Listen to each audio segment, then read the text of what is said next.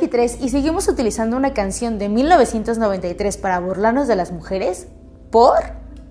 No sé quién las inventó.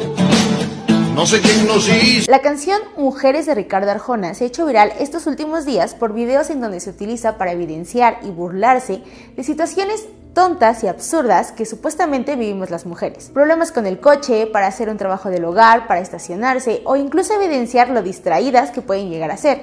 Y en realidad esas son distracciones que cualquier persona puede cometer. Por más gracioso que pueda parecer, es problemático utilizar una canción que sigue perpetuando un pensamiento machista, porque entonces se continúa normalizando todo lo que está mal con la letra bajo el argumento de que es humor. Pero no lo es. Detrás de esos chistes hay estereotipos, prejuicios y todo un sistema que impacta directamente en el trato que se le da a las mujeres. Ese que llevamos años cuestionando para que se dejen de minimizar nuestras capacidades. La canción de Arjona tiene el sello de esos estereotipos de género, los cuales contribuyen a considerar que las mujeres son inferiores y por la connotación que le dan en los videos pareciera que todas son tontas cuando evidentemente no es así. Y más allá del trend, este pensamiento se ve reflejado en salarios desiguales por un mismo puesto, con descendencia hacia nuestro trabajo y el pensamiento de que las mujeres no podemos hacer ciertas labores o participar en ciertas áreas políticas o científicas. Está bien reírnos de situaciones graciosas que nos hayan sucedido por ser distraídos o por desconocer cómo funcionan ciertos aparatos. Lo que no podemos permitir es que el contenido machista siga rondando en las redes sociales y no nos cuestionemos cuál es el origen del mismo